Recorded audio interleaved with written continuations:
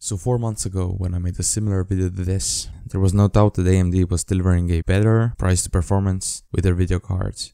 But have the things changed? In this video I've also categorized the cards into 8 brackets.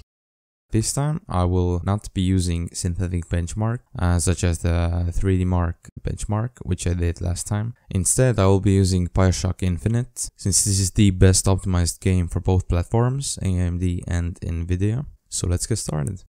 I won't be going over the categories specifically so you can just pause whenever you want and uh, check out how much FPS you're gonna get with each represented uh, video card for that particular price bracket. And in the end, I'm gonna leave you with my Excel page, which contains all the information that helped me make this video and also some more information about the lowest current price on the market. Also to my Excel page, there is a price to performance comparison, which shows how much FPS you're gonna get for each dollar that you spend on the card times 100 to make the numbers a bit more beautiful. So yeah, bye.